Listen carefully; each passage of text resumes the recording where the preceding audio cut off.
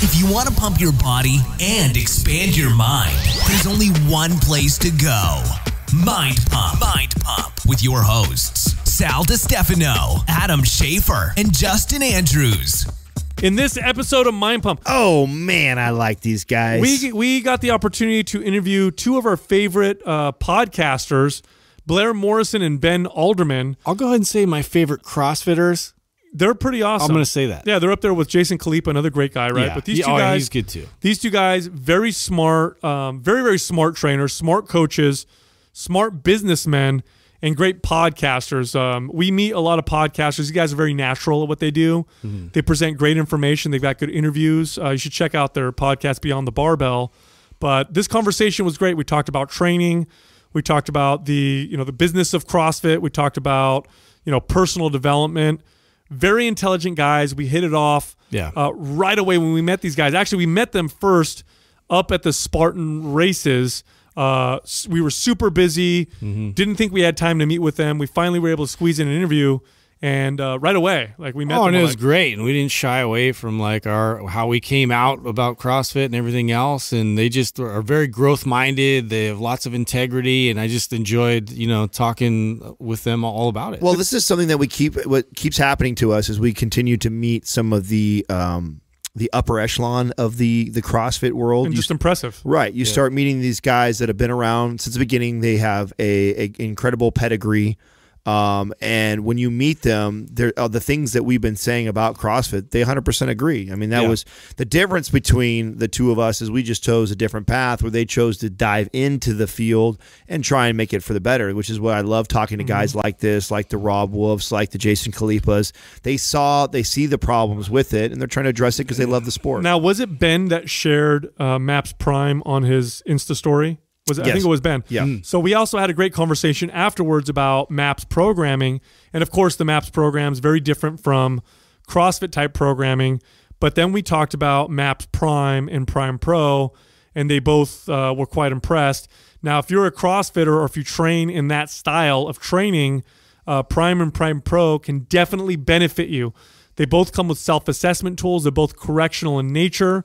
They can teach you how to individualize what you do before your workout so that your body fires better, but they also can help you address potential issues in your shoulders, your shoulder blades, your your neck, your spine, your hips, your ankles, your feet, and with correctional exercises get your body to move better. Now we've combined Maps Prime and Maps Prime Pro into a bundle so it discounts the programs and they work with any training program whether you follow Maps or you bodybuild or you do CrossFit uh, or you run or do sports or whatever. The Maps Prime bundle will help you regardless. Now you can find that at mindpumpmedia.com. And if you want more information on the gentleman you're about to listen to us interview, their podcast is called Beyond the Barbell, great podcast. Their website is btbpodcast.com and their Instagram page is at BTB Podcast. So without any further ado, here we are interviewing the hosts of Beyond the Barbell, Blair Morrison and Ben Alderman. What got you guys into the fitness industry as a whole? Was it CrossFit? Is that how you guys got introduced into this industry, or was it something else? I mean, um, not me. no. not me. No, I I was doing you know weightlifting and all kinds of stuff way before CrossFit. Like Olympic weightlifting? Hmm, well, no, I I always call weightlifting. I'd always grown up like lifting. Yeah. you know, dumbbell curls. body, Yeah, yeah. bodybuilder moving style. weight. yeah, exactly. Just moving weight. I mean, I was 12 or 13 years old, and a contractor was staying at my house because uh, we had a big involved project pretty far from his house, and he also was a family friend. He came through and he was like, "Hey, I brought some weights too if you want to work out." And he kind of showed me how to work out, and I just gravitated towards it. Of course, I played sports growing up in high school. You know, played soccer. Uh, some people make fun of me, say it's not a real sport, but you know, It's a real sport. Most- Most favorite Uh, sport in the I world. played too, and I, I make fun of it. yeah, exactly Yeah, right. yeah. Um, and then when I went to college, I wasn't good enough to play at college, so I just went back into the weight room and just started lifting weights. You know, bodybuilding, reading Flex magazine, paid for my own trip to go to the Mr. Olympia and, and watch it. Oh, you know. how old were you? All right. twenty? Okay. Yeah, twenty years old. And I So what, went, who was who was up at that? Who was up? Ronnie. Ronnie Coleman. Oh, yeah, that was Ronnie. Ronnie. Ronnie Coleman won. Yeah. Yeah, yeah. yeah. Now, did, did you when you first saw your first? I remember the first time I saw a pro bodybuilder in person. It was surreal. Not because I was this huge like fanboy, although I was. uh, It was I was definitely a fan, but to see someone that distorted in person. Well, I'll, I'll It looks really it. a- different. I'll describe it a different way. I, used to watch Bruce Lee movies too. And I would think like after watching one or two Bruce Lee movies, I was like, "Oh, I got this." You know what I mean? Like, if anybody messes You with start me- throwing kicks. Yeah, exactly. So I was like reading uh, Flex magazine, Muscle and Fitness, you know, whatever, muscular got this. development, and like I'm like, oh, I'm gonna go there wear like my tightest T-shirt and whatever. And Dude, that's so the You that's bought a so the couple twenty year old stringers. version of probably all of us. Yeah, right? and I mean- isn't that funny how inflated? I don't think I was even 200 pounds yet. You know what I mean? And I was still 5'10. I was not big, you know, but I thought I was, and I got I to can do Mr. that. Olympia, and it wasn't the show, it was the, uh, this, the Expo or whatever? The expo, thank you. Yeah. And I went there and I'm like, these chicks are making me look really small. Can we talk, can we talk about what what is that? What is that about us as boys? I think probably all of us in this room can agree to this. I def I went through a, a wife beater phase. Like Oh, yeah. like I just Whoa. wore, Wearing I, them. I, yeah, I wore uh, yeah, not literally beating one. no, we mean the shirt. It's a rib tank top. Yeah. Yeah, rib tank top. thank That's you. all I wore, and and I actually because I had been lifting weights for a couple of years, I because I'd never seen my body like that. So you think that you're way more jacked than what you really Oh, are, yeah. and then you look back. It's embarrassing It to is look back. embarrassing. It Oh. looks. It, I look. I think back because I remember. I remember the mindset I had putting it on and walking around. Oh, I it. thought I had awesome guns. Yes. Yeah, like everywhere. So I What had is to that? show What them is off. it? What is it that distorts us for like that? Uh, you know, I don't know. I thought ego? Maybe I Yeah, have no we're idea. just- we're just But building get- an ego. Then you get an ego. Did check. everybody do it? I'm not alone on that, right? Yeah, Oh, did I totally thing. did. Yeah. I mean, I just admitted it, so I can't hide from that one. I mean, like, for me, I I'm in the middle of Las Vegas, like trying to pull off this look. You know what I mean? I think I walked half a mile from my hotel down to to wherever it was at. I can't remember Mandalay Bay at the time, and I'm just like, okay. Uh, you're giving out free T-shirts. I'll take a double XL, right, and just pretend like it's all I have. I guess cover up everything because I really don't have anything to show off. For me, I, I never I never went through that because I was always small. Like I, I knew I was small. I was like this. I was five foot five, 105 pounds in my freshman year of high school, and all I wanted to do was play football and baseball. And so, like for me, working out was about like getting on the field and like trying to get bigger. But I never, I didn't feel like good about like the way I was put together until I was playing college football, like my junior senior year. Like it took me until I was 21, 22 years old. So wait a second. really you were that out. small of a guy. You made it all the way to college football. Yeah. Oh shit. Yeah. So you had some work ethic. But I was, Was a receiver. or what? Yeah, Yeah. I was a receiver. I was, and I went. I went. I played football at Princeton, so it wasn't like going to Florida State. You know, I couldn't have ah, gone to like right. a a one A school like that. But it, like, I never felt like I was huge and jacked. I always mm. felt like I was skinny. Always felt like I was skinny until I was like twenty one or twenty two, and I was weighing, you know. So you don't feel like you're skinny anymore? well, it depends who I'm standing next to, man. Well, we- we- to answer your question, I probably wouldn't walk outside in a wife beater right Yeah. now. Okay. well, we, we talk about this on the show a lot because uh, a lot of what motivated all of us when we were young were insecurities. In fact, uh, in my experience, the more people that I, I find in this profession, uh, I, the more insecurities I see. Like I feel we have it's it's fascinating that you know we are the the health and fitness leaders and we're the ones motivating all these other people that are that are inspired to get in shape and, and better themselves.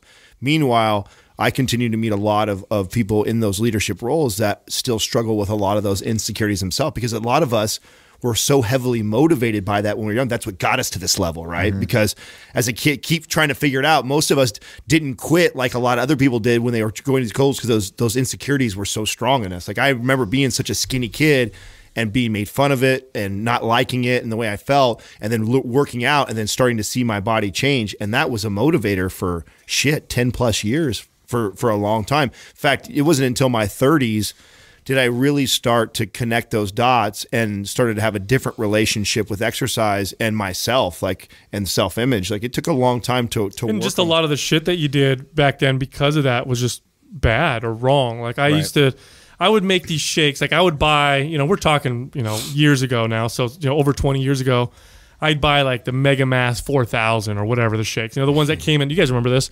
They'd come in the big bucket, so it looks like a paint, Yeah. a pail of paint, but it's not. Like it's you just have to get, powder. like sand shovel. To and do- then and then you'd look at it and it'd be four thousand calories per serving. I'd be like, "Fuck yeah, dude! I'm gonna get huge. If I take one of these every day, I'm gonna get massive." And I'd buy this big thing, thinking like this is gonna last me at least like a month. But you realize there's like four servings in there. That's how they give you four thousand calories, and there'd be this huge scoop, and I'd put it in my. I must have broke two blenders with these things. I'd put it in there, and I'd add peanut butter, and I'd add eggs, and then Just it'd concrete. It'd be like cake batter, like bowl. That's the sound that the that the you know the blender would make. And then I'd sit there and pound it, and it was uh, Hips your stomach like a brick. it was like a job, dude. Like I'm sitting there like plugging my nose, you know, I'm breathing like yeah. gotta get it down, man. And my and you know, trying not to get my like have my mom see what's going on because when she sees it, like, what are you doing over there? You're gonna hurt yourself. And I'm like, no, no, no, I'm fine. Ugh. Puking just to try and get bigger. Right. Just horrible. Uh, and and of course, a lot of the information that we got back then was just it's still Right. still so much of it is garbage. So, what made the how how did you guys make the transition then to to to CrossFit? Because you were doing the traditional bodybuilding type type workouts. You were in college sports. Yeah. How did you go? For me, I, I would come back. One of the first CrossFit affiliates up in our part of the part of the country in you know Northern California was the place that I trained in the off season for for, for football. And uh, it was actually my high school football coach. He opened this business called Sports Specific Training, and it was he was trying to target young athletes, and he would he had his whole model right, which was not just CrossFit. CrossFit was the conditioning piece, but then we did Olympic weightlifting and we did plyometrics and speed and agility. And it was this hour and a half long program. And then at the end of it, we would do a workout like Fight Gone Bad or Cindy or these CrossFit benchmarks that all had names. And he thought that was really cool. So I had, I had exposure to it back like in 2002. Oh wow, really early on. Yeah, really early on. That's when the competitions were like in That's parking lots. yeah. and That's stuff. I got exposed to it. They didn't even have yeah. deep Yeah, there was no. though, It was right? just meetups, man. Yeah. Guys would meet up and then they would Yeah. they would work out in the It was- parking lot. And shit. It was really, really not what it is now. So then I went through and I would just do them, and it's like, oh, this is cool. And when I became a personal trainer after I graduated college in around 2000, and so I, I started personal training in 2006 in Washington D.C. I was um I was I was using these old I had this, I had this laminated eight and a half by eleven sheet of paper that had all, all these names like Angie, Barbara, Cindy, Grace, all these old CrossFit benchmark workouts. They're not girls. yeah, all girls. Your girlfriend finds it. Who are these? And uh, I Honey, was that's u- a wad. What do you mean you wad? You wadded on them? you wadded. The fuck? and I was using them for my clients because they, I mean, these workouts all take 30 minutes or less, and people are just really, they have to work hard. Like you can't, yeah. You're you can't avoid Yeah, intensity. you're right? wrecked. You're wrecked afterwards. And so, and that's like, you know, you guys know as personal trainers, like it's hard to get clients to work hard. You kind of have to trick them into it sometimes. And like this was, it was working for me. So I was using them and I was, I was doing the workouts sporadically. I was like periodizing my, my training. I would go through like a six week, six week power cycle, a 12 week body, like hypertrophy cycle. And then I'd go like six weeks of CrossFit. And I just kind of, I was geeking out on all like the programming Oh, angles awesome. of it. Um, and then at some point I found competitions. It was like 2007, 2008. I went to a regional competition in, in the Mid Atlantic region where I was, and I was like, "Wow, I'm really good at this compared to these other people." right? And this is like before people were doing this all day long. It was like right then. I was like, "CrossFit Games, awesome. Let's Yeah. let's go give it a try." And it just suited my like my natural genetic predisposition for for fitness is like great engine aerobic capacity. I was gonna say, did you have like Yeah. just a big motor in comparison Yeah. to everybody else? I had a yeah, big your motor. work This is like two, 2009, right, Blair? Yeah, Something like that. 2008, 2009 Okay. game season. So I was, I had a, a big engine. I could always run. I was a receiver in college, so like all the running stuff came easy for me. Mm-hmm. I had Olympic lifting background from my high school football coach, and like who was a great strength and conditioning coach. I knew how to snatch, clean jerk. So like all the skills that really, all the only thing I didn't have was the gymnastics. I didn't know how to do muscle ups and stuff like that, but nobody else did either. so I I went and did this competition that year, and I did really well. I took seventh in the world, and I'm like, this is awesome. You know, like, Yeah. the- Who won that year? Mikko Salo, hmm. the guy from Finland. Okay. Just cyborg, unbelievable. So after that, I just started doing CrossFit. I was like, okay, I don't really want to get any bigger. You know, I, I felt good about where I was, like stature wise. Like I kind of come into my own, like I was telling you guys before. And this is just more fun. Like it was way more creative. I didn't have to like adhere to the, you know, the back and bis, chest and tris, like that whole like it's just so monotonous and I was I was just kind of done with it. So for me, the full like attacking the whole body every other day was like a better a better plan for me to like stay motivated to work out. And then I I'll talk to you guys about this later, but I was I was doing them outside, like I was working out without a gym, and so that was like really motivating to me too. So that's really where I transitioned to full time CrossFit. It was the competitive angle that got me kind of into the the Kool Aid community because when I first went out there, I was like, oh, these guys are a bunch of d bags, like trying to trying to look tough, wearing skull. Everybody had affliction t shirts on, and like oh no, Oh no. it was just like it's not. I was like, you guys are exercising. Like, what's the big deal? Now You at know? this like at, mean mugging. at this point, Yeah, everything. exactly. now at this I point because you guys because you're you're both successful um, entrepreneurs, you both own boxes and At this point, are you looking at it and is any of this entrepreneurial mind coming out and looking at this and going, "Holy shit, this is a like a culture that's developing here," or are you totally oblivious at this point to that? to the culture that's developing around. No, Yeah, meaning, like the meaning, business side of meaning it. are you looking at going like we should start a CrossFit box at this Oh, at point? that Or you- Or time. are you Yeah. only thinking like an athlete right now? No, I was only thinking like an athlete. Yeah. Because hindsight's twenty twenty, right? Looking back and like, oh shit, everybody's dressing the same, everybody's using the same language. Like this could be massive. Yeah, no, I, I was not thinking about it at that point. There were, I mean, there were more gyms at that point. You know, there was people were representing boxes and things like that, but it was still, it was very renegade. You mm-hmm. know, like we were mm-hmm. out in aromas, like in the dirt, and like there was people out there with their campers, and like I said, it was very tattoo heavy, very affliction t-shirt heavy. Like everybody was trying to look hard. You know, Everybody wore shirts that had like like just full f bombs on them and everything. You know, and you're just like, man, my kids are here, right? And Yeah. they're, they're just learning to read. Like, what is f? it did not at that point it did not appear sustainable like for growth. It just appeared like okay this is like the the fringe community that it's cool to be a part of. Yeah, that's what I thought. and this and this is very important to know because at this time this is when you know i'm i have a, a personal training studio at this time when this was happening. Mm-hmm. I had left the corporate fitness where i managed gyms and i'm familiar with crossfit. It's close by. Santa cruz i think was the, the, the birthplace of it. And but it was that it was that fringe community that represented it at the time. So i'd see like this clown throwing up you know like this this unofficial mascot and you know they you know uh, uh, and I looked at all this. I'm like, this is crazy. Like this is insane, but it makes sense. That's how a lot of movements start. They start with that fringe, and then it goes a little more mainstream. yeah what made me basically kind of commit to it or transition into kind of believing in it as a culture was when I went to that competition in 2009 at the CrossFit Games, and I'm act- I'm in the barn with the other athletes, and the dudes are not like that. The guys that were the best at it, and the mm-hmm. girls that were the best at it, were not like Were that. real athletes. They were real athletes, Yeah. you mm-hmm. know, and they were like smart and like you know you could see all the seeds of what CrossFit is now were there, mm-hmm. but the fans and like the people that were around it and it just wasn't it wasn't like fully permeated yet. But the people that were the best that were like the best minds like the james fitzgeralds the rob wolfs like these guys they were all there. Like they were there that weekend chris spealler matt chan like they were all there. These guys are like really smart intelligent. They know about nutrition. They know about periodization. They know about you know recovery. All these things it was there. And so when I got to see that face to face, I'm like, oh, this isn't just like the group of people ripping off their shirt in the gym trying to be noticed for working hard. Mm-hmm. Like these guys are actually legit athletes and they know their stuff. So that at that point, when I met them, met the people there in, at Aromas that year, I was like, okay, I, I can I can get with this. I can get with this because these people are about more than just the show. That's a really interesting perspective to Yeah. hear somebody who stayed all the way through. Because we all, I was around it uh, around the same time. Um, a good buddy of mine, I think I mentioned him to you guys before, was Austin Begebing. So he's a good buddy of mine. Um, Jason Khalipa, I watched him in the parking lots at Milpitas uh, CrossFit back in the days when Austin was running that. and uh, my other buddy Neil Maddox, him and I worked at uh, 24 together for a long time. So I, I was watching these guys. I had tried it myself. And I was just like, at that time, it was just too crazy. I was like, man, this is too much. I can't do what I'm doing the rest of the day and try and work out. It was way too intense. And I was turned off by it. And it was growing. And I remember Austin always coming to me and trying to convince me on on the the methodology behind it. And I'm just like, nah, dude, this you're not going to convince me that this is ideal for either myself or whatever. Like, and I'm not interested in training to be an athlete at this time. And I right away made the separation of it being a sport. Like I mm-hmm. saw, I, I and and I it still impresses me. And when I see it, I mean, these guys are athletes. They 100 percent are athletes. sure. You could, the ones, especially when you watch the games. I mean.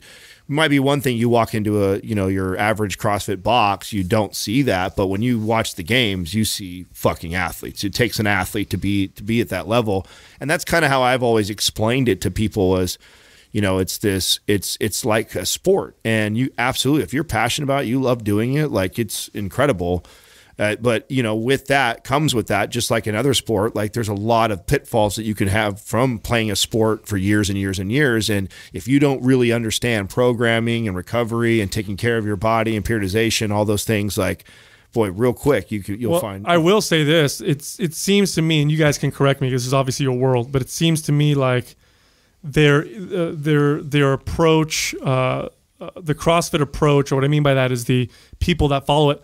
There are a lot of intelligent people. Like more so than you would see in other uh, you know factions of fitness. And what I mean by that is when I talk to people who are really engulfed in the in the community, they're mo- more they tend to be more knowledgeable about things like nutrition, recovery. They tend to be more into the cutting edge type of stuff. Um, it's almost like it's bred into that culture because that's kind of how it started. Am I am I wrong or is that No, no, sound about true. accurate? Yeah, I think that there's also because there's a lot of authorities from other um, fields kind of j- jumping into CrossFit and, and, and helping out because there's a lot of people doing it, right? So an, uh, an endurance coach has a lot of financial reasons to get in and become a voice, right? A nutritionist has a lot of reason to come in there and be a voice. And so with CrossFitters, we love to consume cro- uh, content. Specifically, we like to talk about CrossFit. And so we end up hearing all these different things all the time. On top of that, our certification or certificate we hold uh, includes you know sections on nutrition, holds uh, mobility, and you know we have all those different things and proper movement patterns and all that. So I think there's a lot of of the structure behind it. There are just there's an intelligent design behind the entire movement. Right. Now, what are you what are you guys seeing now as as box owners uh, with other, so many that open up and competitors nearby and stuff like that? What are- what are the good, the bad, or what are you guys seeing happen? Yeah, it right feels like watching it like a lot of people jumped in uh, when it started to really grow fast, Yeah. but a lot of those people now are failing. and the proximity of the gyms, you know, so close by to each other. Like, do you feel like maybe that helped or hindered a bit? Well, Blair and I, we talk about this a lot because the fact that we both own multiple locations and because there's in our area, probably similar to this area, there's a lot of gyms. But that number is slowly going down. It you is. know, it really is. At least in, in our area, we're seeing opportunities to buy other gyms uh, pop up, and then even opportunities just to not buy them and let those gyms kind of fall by the wayside also pop up. And I think that's actually natural with as many people as are jumping in early Yeah, on. definitely. What is making them fail? Um, a bunch of stuff. yeah, lack of I mean- business sense, lack of coaching. What's most common? Like, what do you guys see the most of? lack of members is the main the main reason. So Yeah, like there's just not enough people do that want to do CrossFit for the number of gyms that are there. I don't I think there's there's a big complaint from the very beginning that CrossFit uh, headquarters, like the the certifying body, the main brain of it all, um, didn't provide any quality control. Right? They didn't restrict the radius that each gym controlled. Like you could open up a gym right next door to another CrossFit affiliate. Um, you didn't have to do any spe- specified programming. The only thing that you needed was a you know the the certificate, the level one seminar, and then you were qualified to open and run a gym. So on the one hand, everybody's like, "Well, dude, you're not protecting your product at all." But Glassman said, "Hey, man, the cream will rise to the top," and that's what's happening now. Is that you have people that it's a very low barrier to entry to open a CrossFit gym, right? You don't need much, and it's a little more expensive now. But like for a lot of people, you could open a gym for like 15, 20 grand, like because the space doesn't have to be air conditioned. Like there's a lot of things that are that are easy about opening a gym. and that's and so Glassman, he's uh, if I'm not mistaken, he's a libertarian, right, or anarcho-capitalist or something like that, or he believes like in free market. So Yeah. it makes sense that he's like, no, you go in if you want to open one next door to another guy, Be better. You have to be better to win to, Right. to succeed, and if you're not, you'll just fail. It's the same thing as a sport, right? Yeah. Like you have to go in there and you have to do the same exact workout, and whoever's better is going to win. Yeah. And everybody else, will.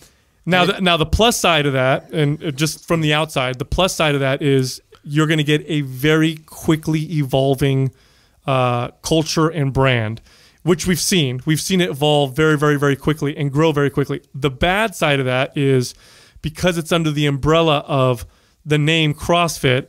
When you have for every 10 successful boxes with good coaches and good business sense, you have, let's say, another 10 that are shit with shit coaches and shit business sense because we're all under Well, that, it'll that probably umbrella. actually it'll probably actually follow more the 80-20 rule. where yeah, exactly. actually- so you, it's not ten and ten; it's probably more like ten and fifty. 10 and Yes, 50. yeah, so, but because they're all under that name, Right, it pollutes it. It can, it can do that definitely. And if and we saw that not that long ago, right, where you have these videos posted of people doing just horrible exercises and all this other stuff, and it gets lumped all into that same category. And my experience with uh, with some of the boxes around my facility at the time was was just that, as I couldn't believe some of the stuff they were doing, and I did not know how uh, how it worked, how it was an affiliate, and it wasn't necessarily a franchise or anything else. But now that I know this, or as I learn this, and and I can see what's going on, you can definitely see the evolution. Well, the delineation that Adam made early on between it being a sport and like a fitness program, a lot of people didn't get that. even affiliate owners didn't get that. Owners didn't get that. They thought that they were actually creating CrossFit Games athletes, and in reality, what they didn't realize was they're just helping people get more fit, mm. or they're hurting them. Yeah. Right. And so the the competitors need to do something different. And so when you see somebody's form break down out on the workout floor, like on the competition floor, they're making a conscious choice to do that, not because they're trying to get more fit, but because they're trying to win. They're trying to win. Right. right? Like Michael Jordan playing with the flu, right? Like he didn't do that because he's healthy. That's a great point. He did that because he's trying to win, mm-hmm. right? So when you're in the gym or you're like Blair and I and you're a coach and you have somebody's form starting to break down, that's our opportunity to go over there, prove that we know what we're talking about, hmm. make the hard call and go, hey, you know what? You might need to take a break or you might need to sw- switch exercises or maybe that's too heavy for you or all the other different things you can do or do you just not understand the movement, mm-hmm. right? Mm-hmm. and that's so- why you guys are that's why you guys are successful. Well, we used to say, you know, in the gym business, we used to say there's no such thing as bad clubs, only bad leaders.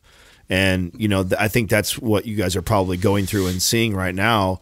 What are what are some of the things like? You, that's a great point. I think that that's obviously a strength of a, a good leader in the facility. What are the things that you guys that have made you successful and that you think is important to have in the facility, and where are a lot of people missing? Um, that's a great question because I think different people do it different ways. My experience, so I had, I had a lot of experience visiting CrossFit gyms before I opened mine.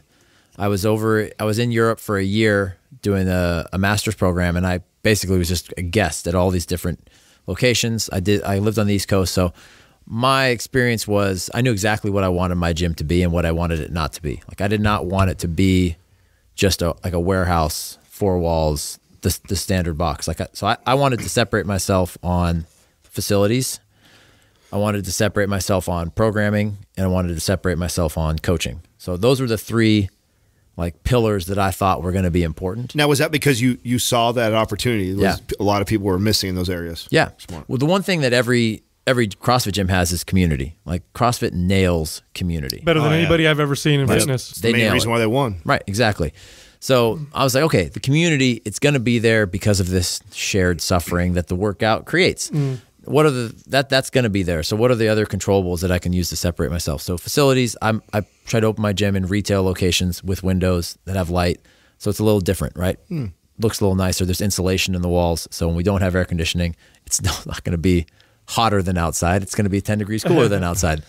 Um, the programming that's like a passion for for me personally like i like the outdoors different type of creative programming I, I like to think that i have a skill for that but every gym has its own identity based on the programming of the, the head coach or the owner.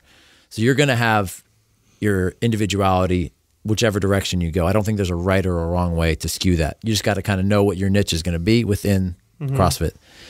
The last one, the coaching, this has borne out as being by far, in my opinion, the most important separator Absolutely. between successful gyms and failing gyms. Not only do you need to know what you're, and you guys know this from being personal trainers, like, yeah, you need to know the information. That's important. Product knowledge is important, right? Relaying that information to someone is equally important. If you have it all in there and you can't get it across to them, like, what good is it, mm-hmm. right? But the third piece, I think, is like a an ability to make that person feel that you care about them, about their interest, their well-being. So you you have the you have the knowledge, you can get it across, but you also get it across in a way that they feel cared for. Like all the gyms that are successful that I know of have that in their coaches. That's the biggest thing. this this is something that is uh, relatively unique to fitness um, in the sense that you know we we ran these big boxes for 24 hour fitness for a while and I grand opened some clubs and I remember when they started making a shift from understanding that to you know starting to just look at you know sheer numbers. Like okay if we sell our memberships for this cost this many people will join. We don't need to do a tour. We don't need to invest in, in personal training like we have been. It's just we have the clubs we have the equipment. People will come people will buy. Fitness doesn't work that way. It never has. And you see this with so many trends. I remember when curves exploded. Curves exploded because it was reaching a demographic that no gyms were able to penetrate.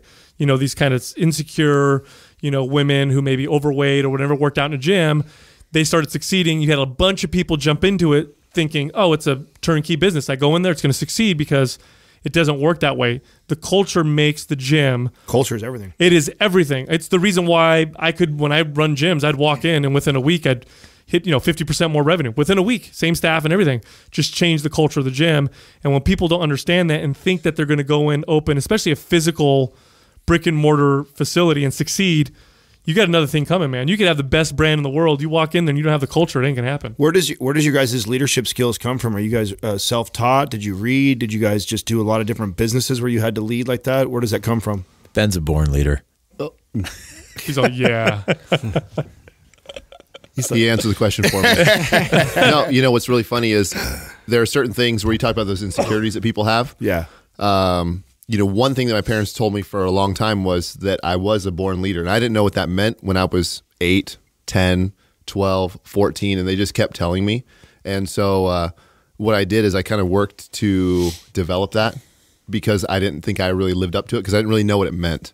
You know, so uh, whether it be books or taking leadership roles in projects or you know in business, just on a regular basis, like I always try to take the lead, even though I've maybe the most ill-equipped person in the room. Hmm. I'm cool with that. For me, I feel like a lot of my the qualities that I try to exude came from being a personal trainer. At least in the fitness industry, like I wanted, I knew that everybody that I was coming in contact to was not an athlete, right? For the most part, most of mm-hmm. my clients were Average Jane or Joe. average Jane or Joe, exactly. So you had to you had to adjust your personality to them to create to provide what they need, right? So that that that lesson gets taught to anybody who's a successful personal trainer because in order for you to have a good business, you can't be just you. You have to be who they need you to be, right? So with that comes a lot of humility and open-mindedness and like you just acceptance. So when I opened my gym, that's what I wanted to have. Like you don't have to adjust to me. I'm going to adjust to you. You can be who you need to be, and then I'm going to bring out the best version of that, right? And that creates trust. So for me, I think my my leadership style, at least in this arena, that's where that comes from, and it's a constant like ego check. Like I want, like Ben and I were talking earlier, you want your athletes or the people that are competing or like trying to get through a workout, you want this toughness from them. You want them to be able to push through, but sometimes they just don't have it. And like, I got to swallow that and give them what they need for that day, you know? And I think that goes a long way. I think um, keeping that in mind helps you be the right kind of leader. Yeah, I mean, like there's this. Uh, uh, I I mean, the Apostle Paul said it. It's in the Bible, and it says, "I be all things to all men." You know, and at some point, you have to be willing to fill in those things and see what people need you to be, and then you be that, right? and in fitness, like you said, we're surrounded by people who have all these insecurities. There's a lot of opportunity for that, and to create culture and a connection with people, and then you connect with the right people. Your gym just kind of. Can you guys remember when you really made that connection, or a time when you didn't? When you didn't do that, you were the opposite way. That kind of taught you that lesson. I'm sure I could remember a few times. Um, I mean, I know I, I can tell you one example of when it you have to be that way and you don't even have a choice. It's with your kids, right? Because you, it's not. If as soon as you're a parent, you understand that like it's not your parenting that is your like your parenting style that is creating this person, right? You have to be a different type of parent based on what type, type of kid they are. Otherwise, they're just gonna you just don't have as much control as you think you do. So I think that um, there's a couple of times for me where it didn't work, where I tried to be too firm with athletes, right? And um, you know, you have to we have to remember in CrossFit, it's not like a college football team or a you know a pro basketball team where you're paying these people to be there. Like that's not the case. They're paying you so that they can be part of this program. So you can't really be like the the Nick Saban Iron Fist, you know, like my way or the highway. Like you're gonna get you're gonna lose members. Not only that, but there's this self-selection process when you have a athletic team that has all you know been playing for years, and now they're here and they're going to play the sport, and they're all the type of mindset is they're all pretty hardcore, And they're all going to war. They're all going to war They're all going to war. They probably respond to you know tough love. They Right. probably respond to telling them, you know, get off the floor, you weakling, like go kick, you know, whatever. But the average person is not like that, and and you're not doing them. I remember specifically when I learned that lesson. I had a client who I trained, and she would see me one to two days a week, and she would complain that she wouldn't lose weight, and I knew she was eating terribly and all these different things, and I would take it personally. My ego didn't like that, so I actually sat her down and kind of lit her up a little bit, made her cry, and she never came back. And I remember like thinking, a week later, why isn't she returning my calls? I remember thinking like. first I was irritated. She didn't return my calls. Well, forget it. Fuck her because she's not, you know, she's not serious about fitness anyway. And then I remember thinking like, I have done her. I haven't helped her at all. In fact, when she was in here once or twice a week, she was doing. She was better off than now not doing anything because now I've totally alienated her. Alienated her to fitness completely. So it's a you're 100. percent I uh, totally agree with what you're saying. You have to. mm, You know, know you, you. They're not you. You can't Right. train them You the gotta way be you adaptable. think. 100. percent Yeah. and, and like you gotta you gotta know because if you want you, everybody's gonna need a push at some point right you gotta know when your opportunity is to give them that right like so in crossfit there's a lot of skills that people can't do like double unders jumping you know spinning the rope twice under your on your feet when you jump it's like a standard All my members can do that. yeah, right. it's a standard competitive thing, but it's so frustrating. And so it's like there are certain days where if you've built up enough equity with the with a member, I, I'll sit there and say, okay, well you're gonna you're gonna do hundred of them, and I don't care how long it takes. And like that's the tough love for them. But if I haven't built up that equity with that same member like that week, Backfire. It's like yeah, I'm not gonna. They're gonna they're gonna like mf me, run out of the gym. Like you maybe they never show up again. So you got to have that that subtlety to know when to when to push them, when they need to push, and when they do they really just need like a hand on the shoulder. Say, hey man, it's all right. Just just call it there and Yeah, you how, run. is there is there certain uh, exercise like that that you know is just going to cause mutiny amongst the God. group? Oh, yeah. Dude. We Yeah. we program not for the masses because we know it's good for our clients, but at the same time, we program according to what the members say. You know what I mean? Like you know that certain days people aren't going to show up if you get a little too crazy, and so you won't program that that day, but maybe you will next week because you've given them a long enough break and you just know it's good for them. I have the perfect example of this, and this is like one of my like soapbox things at, at our gym. So we we our, our gym is called CrossFit Anywhere Anywhere Fit. It's like the idea is, hey, we're gonna be you can do this anywhere. You don't need to be in a gym. We are situated in Folsom, one mile from Folsom Lake. And I did that on purpose because I wanted to be able to swim. I wanted to be able to go out there on a trail. So once a week in the summertime, I program a swim, an open water swim. okay. And it could be like with kettlebells, it could be just a swim. It's like always different. So it's still varied. But every week, what do you think is the least attended class? Of course. Right? Trying to get people out there in a bathing suit, like yeah, right. at 5.30 in the morning or whatever like but I do it and then I try to build up equity all year round so that I can just I can stand firm. Your swims. You're like selling it like every single stand time. firm Yeah. and like not buckle and not let them escape that people just won't show up and that's their prerogative right? That's their choice. But um, yes the answer is yes. There are certain things that people will really push back on. I think in general crossfitters don't like to run. They think that this is a way i can do cardio without running. Mm-hmm. um, so you'll see people not show up on running days. I don't know about you ben but Well, if I program 100 meters at my gym, people aren't showing up. yeah ben's not a big running Yeah, gym. yeah. We like being strong. wow. Now, so do, do do a lot of gyms tend to have like things that they're known for? Like, Yeah. is it because does it come kind of clicky like that? Like, I oh, think there should be, right? Yeah. Like, it, I think you actually should have a niche, right? Like, you should. Your flavor. So This is Yeah. almost like camps I- for I- MMA, like where you're Yeah, kind of yeah. producing a fighter that's Yeah. going into. Blair and I like to go back and forth about why mine's better than his, and Uh-huh. it's great. And then every year at the competition, my team sweeps the running events. and he dominates the lifting events.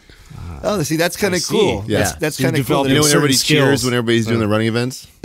Not very much. when you hit the biggest power clean, That's all right. Try, try to out power clean a bear. yeah. Try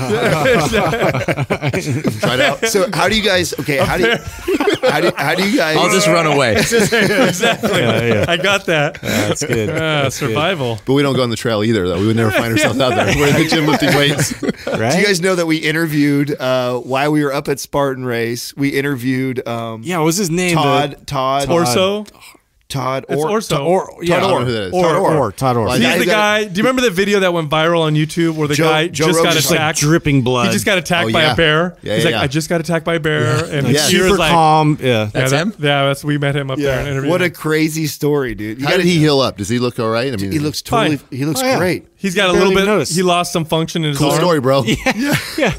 He had like He was his tendons hanging out. The, ma- the manliest shredded story I've ever heard in my meat life. everywhere. So back to the leadership stuff with you guys and your employees, okay, or your because your coaches would be considered your employees, right? They work underneath you guys, I imagine. So, how much time do you guys spe- uh, spend uh, developing them? Do you like that? What are the struggles? What are the things you enjoy about it? Tell me a little bit about that. For me, part of the uh, that's that's been a little bit of a challenge, and I don't say that because I don't have a good coaching staff. I say that because I've got some pretty qualified people under me, and I think sometimes the hardest thing for me to do uh, is lead qualified, capable individuals. Leading leaders is a motherfucker. Yeah, man, it's tough. Yeah, right. So under me, I've got a guy who, um, you know, like I've got a guy who's just naturally a great coach, younger. He's aspiring to be a firefighter.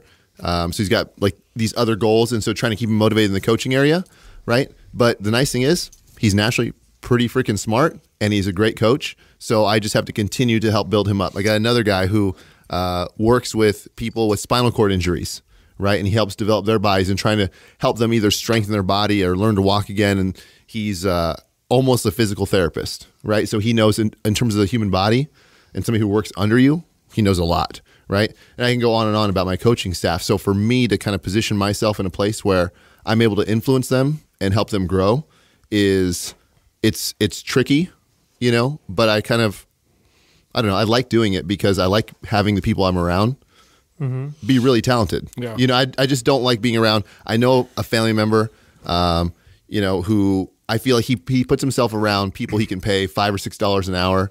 And I say five or six dollars an hour, knowing that minimum wage is actually 10 or something like that, because he's paying him cash and they're so underqualified for any other position that it like he can just get away with having whoever around.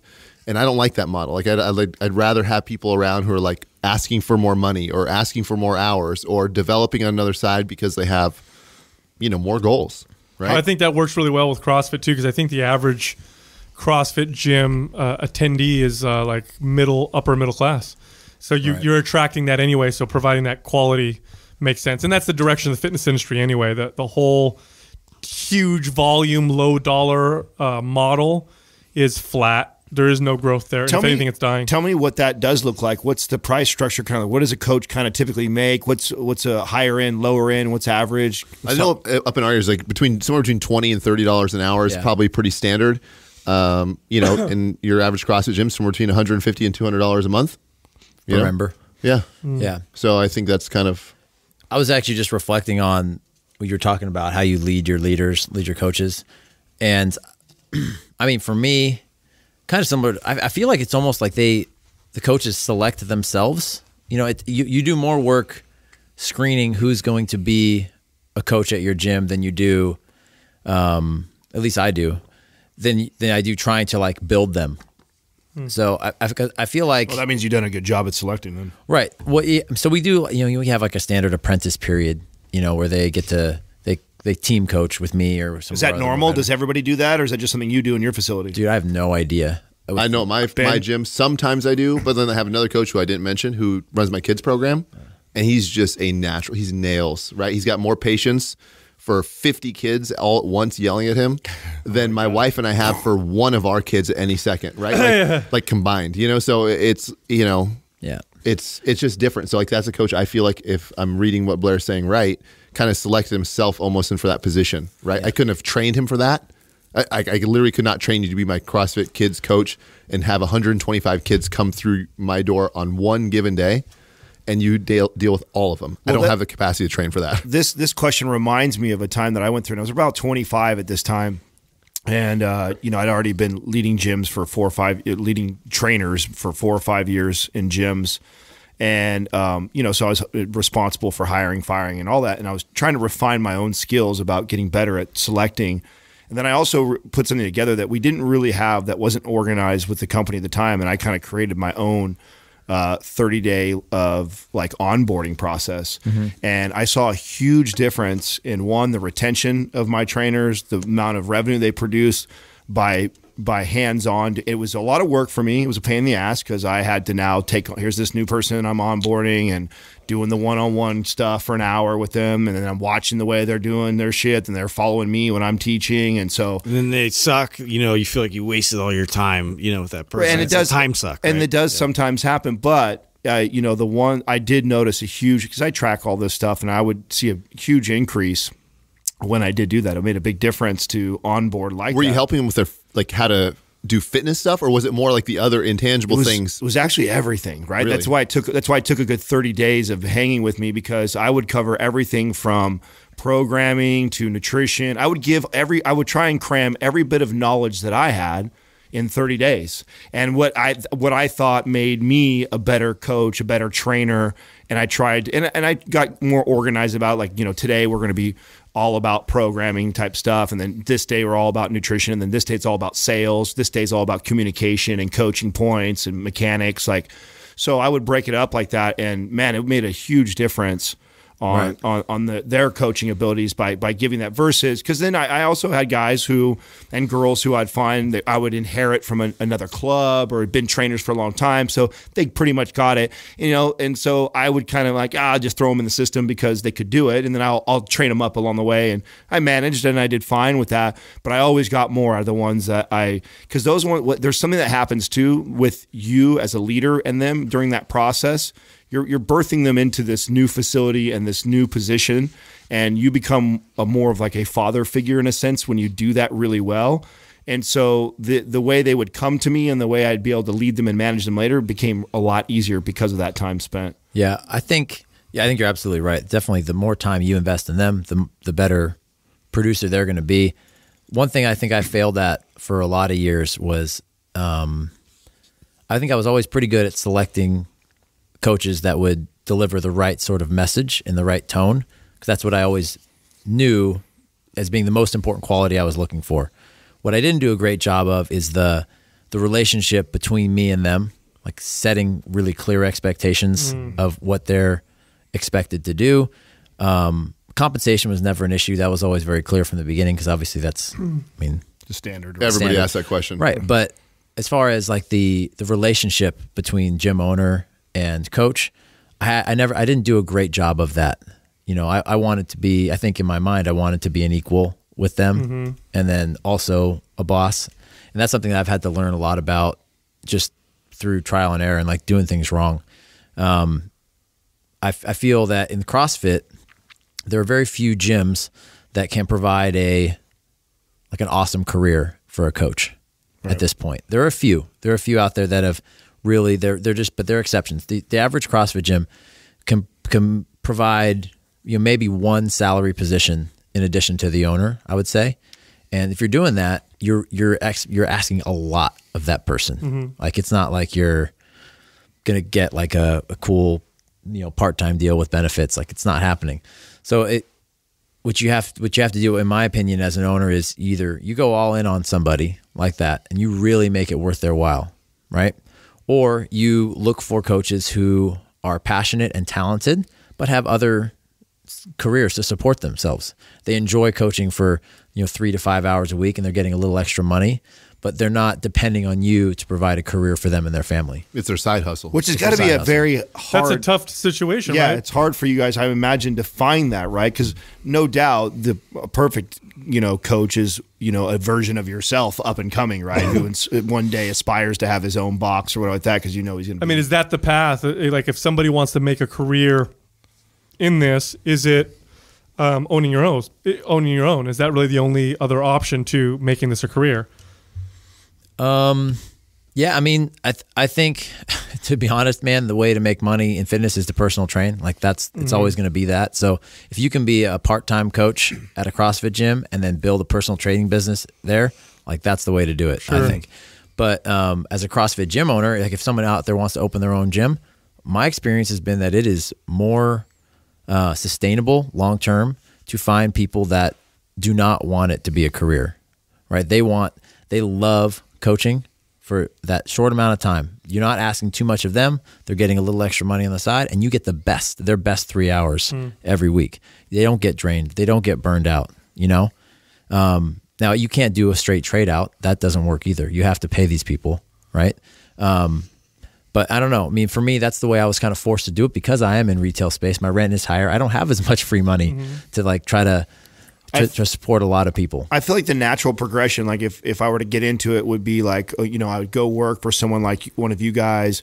I would start building, my, and then I would build my own confidence by building my classes to be just exploding, right? Like to where I have the most people out of anybody else that teaches. I'm always Right. loaded. People I are showing up for you. yeah, people are showing up for me, and then I think at that point, I, I've proven to myself like, okay, like I can draw these people to come see me. Now maybe I feel confident, and I would open up my own gym. Is that kind of the pro? Is that A lot of people do that. I feel Yeah. like that happens. Uh, I've heard of that happening a few times in LA, you know, and different things. But for us, I mean, I've had I've had two coaches do that. You've had two coaches gone leave. on to open up other gyms.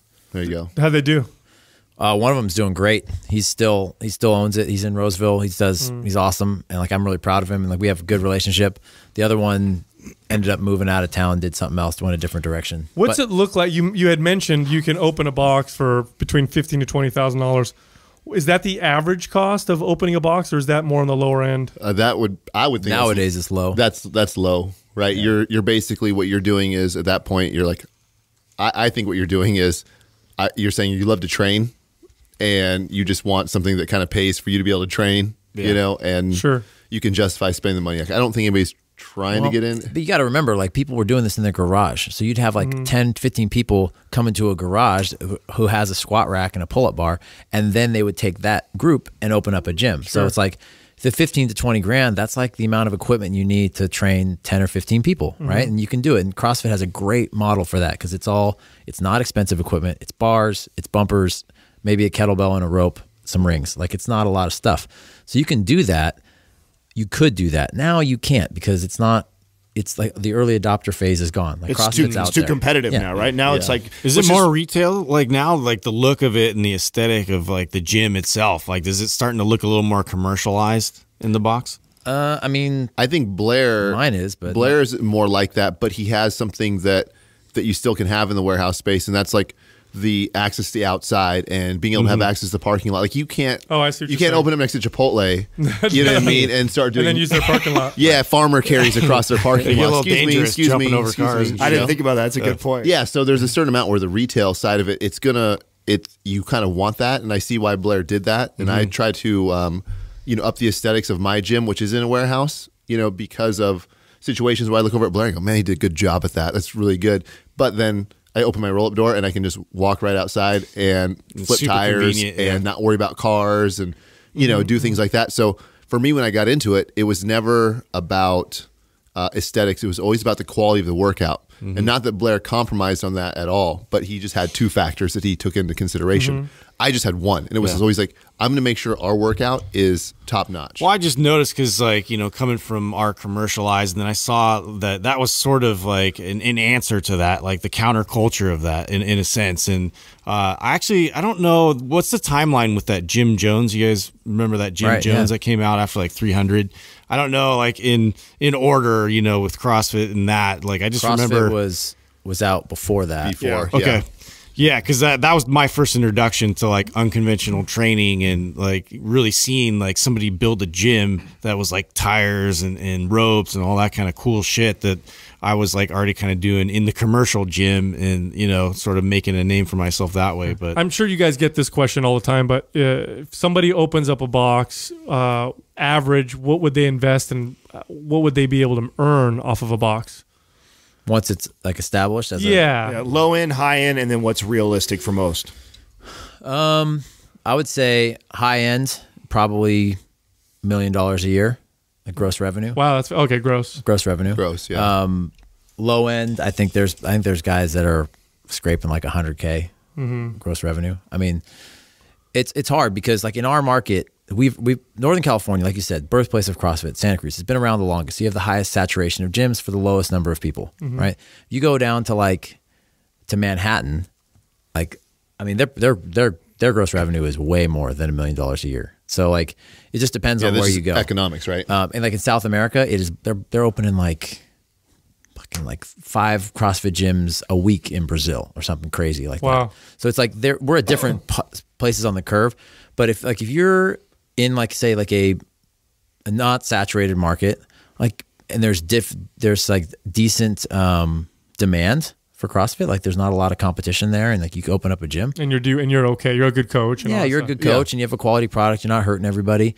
Like I, I think that it's, it's, I think it's very reasonable for you to, to take thirty thousand dollars for equipment and your lease and your space and all that, and within a year, I think you could be, I think you could be generating a solid amount of money, maybe for yourself, three to four thousand dollars a month profit. That's what I say. Three thousand dollars. I think a lot of guys who love fitness, you know, probably like all of us, especially the ten year old, ten less year old version of us, like twenty five, somewhere in there, Are right? You're super happy with that? yeah, you're making three grand a month working for yourself, staying in the gym, you know, hitting the weights, or making five grand a month working for the government. You know what I mean? Like you're like, Yeah. I'll, I'll make that trade all day long, right? Yeah. So it, I guess it comes down to whatever your profitability thresholds are, like what you really want to sustain. You know, I would think a lot would be popular because I and I had a, one of my trainers that went and opened his facility, and I remember he what he did was he was building his, and at the same time he was privately training clients there too. So I, I would assume that would be because you could probably easily pick up another two to three thousand dollars a month easily just off of some private sessions. if you're that guy that knows how to do that, a lot of the, the, here's the, you don't know the biggest problem with CrossFit in the beginning was it was it was all the gym owners were like police and firefighters. Mm. Like not No that, trainers. or, or ex-militaries. Yeah, there's no trainers. Like not that these guys are bad guys, but like they opened up gyms, a lot of mm. them, just so because it was cool to work out with their buddies. Like they didn't have any like coaching, Interesting. Yeah. like pedigree at all, and they didn't know how to like do personal training with people that are like um, you know different populations, different demographics. Mm-hmm. So yeah, if you're a coach that has a coaching background and you're you know how to personal train someone, absolutely, mm. because now you got no rent. Like, what's the biggest cost for a personal trainer at a gym? You got to give sixty percent to twenty four hours. That's right. You know, do you, like do you Blair? Do you, do you do more. any more personal training? Do you? Yeah. You do. yeah, I do. I mean, not that much. I wish I did more, but I have I have three three clients right now. I I remember the day I didn't have to do any more personal training, and I was so stoked because like even though I love fitness and I love Yeah. that interaction, that one on one interaction, I remember I got a thousand dollar check for somebody who pre bought some sessions, right? And and we've all gotten those from twenty four hour fitness, and you give it to them, and you get this like sixteen dollars an hour, or whatever per Yeah. session you're training, right? And it's like here's a thousand bucks, and and I had it for like two days. And my wife's like, "Why have you not went to the bank?" I'm like, because if I deposit this, it means I have to train them again for like the next three months. You know what I mean? and I literally went back and I gave the check Oh, you give it back. to the lady and I said, hey, I'd love to have you as part of my community. I'd love to have you as part of my gym. I just can't train you anymore. Come on, Ben. I'm dead serious. That's, that's true story. I What a gave back. meanie, dude. I would I would have gone to her and be like, I can't train you, but I have another trainer who can, who's very Yeah. good. Then I would have gone to that trainer and be like, for five hundred bucks. Yeah, right. yeah, exactly. Yeah. I got a great deal for you. Yeah. I I got it. know. so I, I just couldn't do it anymore. But now I do actually have one person I meet with for half an hour a week, mm-hmm. and I don't charge a thing. Hmm. So just to keep. So I, I do something similar. I do Mm-hmm. uh, some online coaching, but it's not because I'm I need to online coach. It's because it keeps my finger on the pulse of Yeah. fitness. You know what I mean? I get to. I but you guys have gyms, so you guys are in there all the time. Yeah. We're in here all the time, and I was finding myself little by little losing that touch Mm-hmm. of working with people every single day. So it's not as relatable anymore. Yeah. And I do the same thing. I have like just one client, like I'll show up in the morning and, and just, you know, going through the process of like uh, troubleshooting and, you know, using new techniques and like stuff you've learned, like FRC or something that's just come out. And I want to see, you know, how to apply this in the programming sense. It's like, it's, you have to, you know, have to it keep keeps you sharp. part of it. Yeah. keeps you sharp. It's like the McDonald's owner going in and, and doing French fries every once in a while. Like you want to be in there, Yeah. and you know keep your again keep your finger on the pulse of it. But I think you know fitness is interesting. It's one of those industries where you people enter it because of passion. Very few people go into the fitness industry and think. I'm going to be a millionaire. Like very few people do that. Most people are like, I love working Mr. out. Jillian Michaels. Yeah, I love working out. I love training people. I love fitness. I, this will be awesome if I can make some money doing what I love. But then you do have some of those people who get in there, do it because of the passion, and then they're like, okay, I want to build a big business. I want to build a phenomenal business. And what we've been seeing uh, the rise of, and really the, the best opportunity for this is merging the two. You have your brick and mortar physical, you know, location business or clients, but also working now with the new emerging, you know, side of fitness, which is your social media. And now you're reaching 5,000 or 10,000 people who also value what you have to say. Now you can build a six, seven figure business. Uh, whereas before, in order to do that, you had to have like a shit ton of locations or a lot of, you know, uh, tied up assets in your, in your business. So are you guys doing any, I know you guys have your podcast.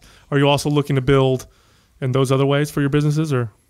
I mean, no. Um, I, I have me personally. I have a, uh, a travel business that I do. Um, we once a year we run like ten day trips around the world. It's called Anywhere Fit Travel. Um, so that's like a diversification of of my business where you know, we take groups of thirty people. We go to Iceland. We go to Greece. We go to Thailand. you know, New Zealand. yeah, is cool. awesome. And it's like a Yeah. fitness trip. it's a fitness trip. So it's it's essentially It's like, like a, we used to talk like a waste of a trip Yeah, to no. Thailand, if you ask me. It's, it's perfect. it's just like get all your vacationing in. huh? no. So it's it's a I see what fitness. you're doing. It's a fitness trip. Um, the workouts are, um, there's the the workouts are kind of done on the fly. So say like in Iceland, for example, we were on a bus between waterfalls, as as one does in Iceland, and there's like this dormant volcano, and we're like, oh, boom, pull off. We're gonna do a buddy carry to the top of this volcano, like stuff like that. So the workouts are interwoven into the trip. Um, as a, cool. as a way to kind of like make the experience more memorable. Um, so that's that's a side business that I run. Um, It's actually really clever. Yeah, it's cool, man. and I, dude, I love it. Like Yeah. I look forward to it. Every Did you year. just start that? Or you been doing that for a while? been doing it since 2011? So I've done 12, 12 major trips. Oh no shit. Yeah. So we're this next uh, June we're going to Peru.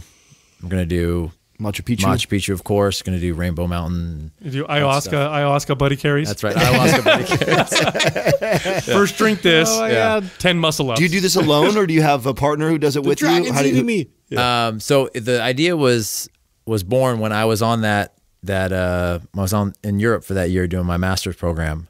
I would, this is how I was working out. I was like, oh, I'm in Europe. I want to go check out Germany and Italy and France and whatever. And like, I would still need to train for the CrossFit Games. So I was doing these workouts. During that, during the course of that year, I made friends with a guy named Sven. His name is actually Sven Bjorn Sven Bjornsson. So if you guys know, very how- Swedish. Huh? yeah. so he's Icelandic. Icelandic, He's yeah. Icelandic, and in Iceland, I would have never guessed. yeah. they they they have no surnames, so it's only whoever your father's name is. It's that plus son or plus daughter. So like Sven's dad's name is Sven, so he's Sven Svensson, Sven Bjornsson. Anyways, that's an interesting aside. But so he's my he's my good friend now, and he runs these trips with me. So we go out, and he does a lot of the logistics. Now, does the wife come with you, or is it just you? The wife comes with me. Oh wow. Yeah, so it's like paid vacation for us. Oh, that's awesome. Um, we haven't. She hasn't come the last two years because of our kids, but that eventually that's what I want it to be. Is you know I take it's and it's it's cross branded. So our gym, like I said, is CrossFit Anywhere. These trips are called Anywhere Fit Travel. So it's the same idea, the same mantra, the same logos. Everything is connected that way. And I, w- I would love for this to be something that we continue to do as a family. Like when my kids get older, mm. you know, 10, 15 years down the road. So you like roughing it throughout this, or you guys actually like having hotels and? No, we do. It depends. So, like in a place like Iceland, there's some roughing it because there's just that. That's the deal there, you know. Mm. But like in Thailand, we were staying in like five star, Oh, there you go. Like I'll baller, go to that trip. Baller. It's like 15 bucks a night or something like that. Yeah, it's amazing room in the world, yeah. right? Yeah. Like the way to really make money or like to to profit on a trip like that is to go to a place that's more third world because your money just goes so far. Mm-hmm. So, anyways, that's like that's one way I diversify our business. I don't do a lot of stuff on Instagram. Like I, I don't know what it is, and I, I feel like I need to get over this, but I look, I, I look down on people that are Instagram stars. Mm. Like I look at them and I'm like, really? Like I, I'm, guess that's jealousy is what it is. I'm like, really? You're making like Yeah, it's your it's your two own hundred k a year for it's like your own taking ego that makes you frustrated that You know? that it, that it's that way. We're all the same generation. How old are you guys? I'm 35. 35. Yeah, so we're all the same generation. So we came up before that. We saw it grow, but we're not too old to where we're super disconnected. So it's like you look at it like, what the fuck is it? I remember when I when It's so lame, and when they're I- making millions. when I first clown. yeah. when I first started talking, uh, I start met Adam for the first time uh, over the phone. We were talking, and this is before. This is when we decided we are going to start a podcast.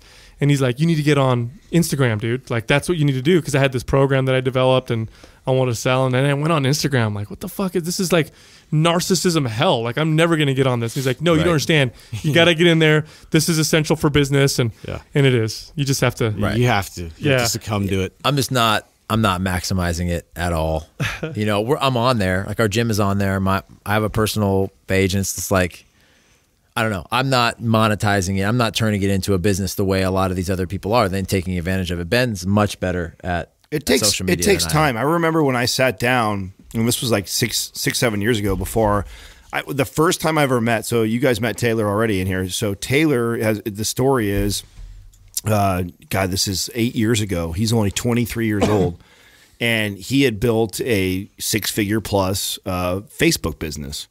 And I had, and at this time, like uh, Facebook's been around for a while, uh, and I had heard of people doing this, but I hadn't, I didn't know anybody personally. So at this point, I'm not really, I'm not really diving into it. I haven't met anybody who's like, yeah, I've made this bunch of money off of Facebook or whatever.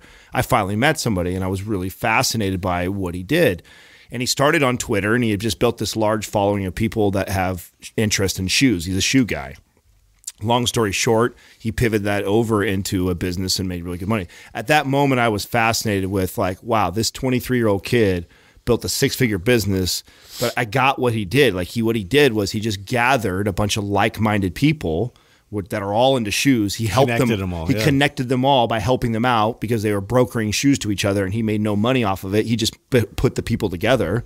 Which now he became the guy who, hey, if you're looking for a specific shoe, that's the guy to ask. Right. He'll put you in line with the right people. It come. It's always a solid. Bing, bang, boom. And then he's got he's got That's all she wrote. he's got ten thousand people now that are paying attention to what he's doing, and he turned it into. Then he made a t-shirt business and sweaters and hoodies and clocks, and they all had sneakers on them, air fresheners, which were like where he made most of his money. Like just a smart He made most of mine in air fresheners. off a dollar. Yeah. Well, they only cost him like three cents to make, you know, and he sold them for like a dollar. see, I, some- see, I love that. I love that sort of simplicity. So do I. Yeah, I lo- so do I. And that's I was instantly intrigued by this 23 year old kid who had done this. And at that moment, I remember I was doing something completely different at the time. I'm like, I'm going to do this because before that, I was never a Facebook social. I didn't have any of it. I didn't care. Like I was, we I had a MySpace for a little while when my MySpace first started, and I was like, I was over because I was already into my 20s and stuff. Is it still like, out there? Is your MySpace page? Yeah, out there? man, it's alive. Is it? Is it really? Yeah. I got a, like you can an search email. a, a Yeah. MySpace page. I didn't Yeah. know it's still. I didn't even know My it's still old existed. band page is still on I'll there have to look somewhere. that up. Gets 12 unique visits so a month. sad. Yeah. It's so, so. I was I was not into it at all, and until I had seen that, and then and I remember he told me he says you're going to plug away at this for what, at least a year. He says at least a year, and you're going to hate it, and you'll be annoyed by it because you'll feel like you're talking to nobody, and it, it'll feel silly what you're doing, and this and that. He says, but you got to be consistent. You got to keep plugging away at it, and eventually you'll find your voice. Eventually you'll find your niche of people that were that want to hear what you have to say and then that's and you just stick to that and I I bought some ebooks too on it like on how you should be posting and shit whatever and it was like telling me I'm supposed to post four times a day so I was posting like four times a day and one A lot would of be- shirtless pictures. yeah, shirtless pictures back then in the bodybuilding days. Romance you know, novels. and then uh, exercise videos. Then I then I put a controversial post up, like so. You know, I, I and it just would slowly add. You know, slowly building, building, building, and you know, even when Justin before we started Mind Pump, Justin and I uh, created the first nutrition guide. And I thought like once I got up to like twenty thousand, like I was like, all right, you know, let's let's see if this thing makes some money. And we turned it on. It was like, and you know, said, hey, here's the guide. It's out. Go buy it. Type of deal. I'm like, hardly any people. Yeah, Crickets. I mean, there Yeah. was. I think we yeah, sold like there was a 30, few, maybe yeah. 20 or 30 that month or whatever like that, which So like, I got it. Let's just jack the price higher. Yeah. yeah, yeah. So at that, at that, We sold Really? thirty at a thousand dollars. Yeah, think You'd be about it. crushing it. yeah, right. yeah, exactly. So we, we learned real quick that it was going to take uh, take more than that for sure, and and so I think that's the part like that's it's kind of frustrating because you won't see any real return from it for a really long time.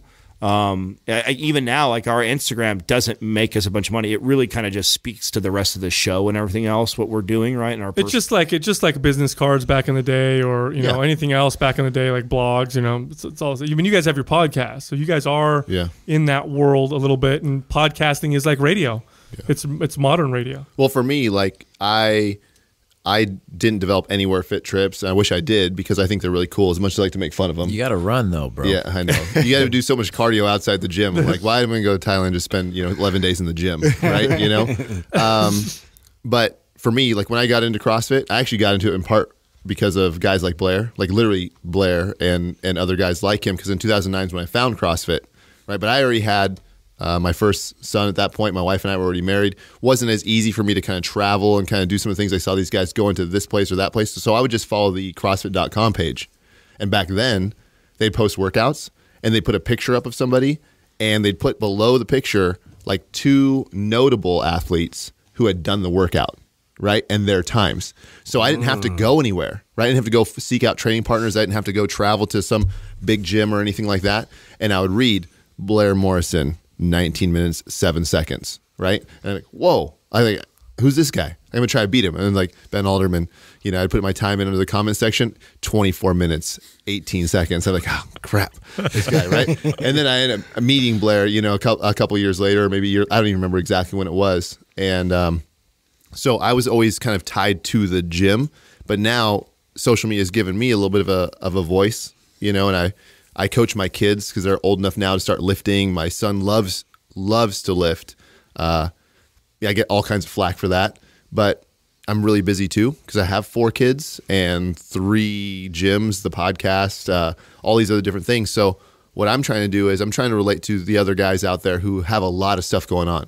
So you know, we always hear about the dad bod, you know, and it's like okay to be a little fat, a little pudgy, not take care of yourself, and I'm like, I don't think so, man. Like I think that we should reclaim the dad bod just a bit and uh, stop giving ourselves a way out. Like we don't think it's cool to like let our kids uh, get get away with being like slack in school, right, or in oth- any other areas of their life. So why are we going to model like a like an okay self image of of being fat and uh, lazy and not work Giving hard? up, Yeah. yeah. and just giving up. It's like, oh yeah, you got to no. work hard in sports, or you got to be this kind of student, or you got to be this. and way. then it's over. Yeah, now exactly. You can coast. What's Yeah. the classic do what I say, not what I do, right? right, Yeah. exactly, right. Yeah, so sure. you got to model it. and then and then at the same time, I have all those same uh, uh, characteristics that being competitive in CrossFit helps satisfy. So I was like trying to stay competitive in CrossFit. So I ask myself crazy questions all the time. I ask myself if I could only train for an hour a day, could I still be one of the best in the world? Or if I could only train an hour a day, could I finally beat Blair Morrison at a running workout? Right. And the answer is usually no. But by asking those crazy questions, I've come up with like a training methodology that allows me to train sometimes as little as like 10 to 20 minutes a day and then stay pretty fit.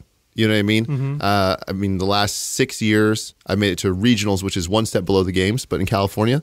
And I think five of those six years, I was top 10 fittest guys in California. And I don't get to train as much as a lot of people, and not as much as a lot of people think I train. So even my competitors, I lay out three, four hours of programming for my in house competitors.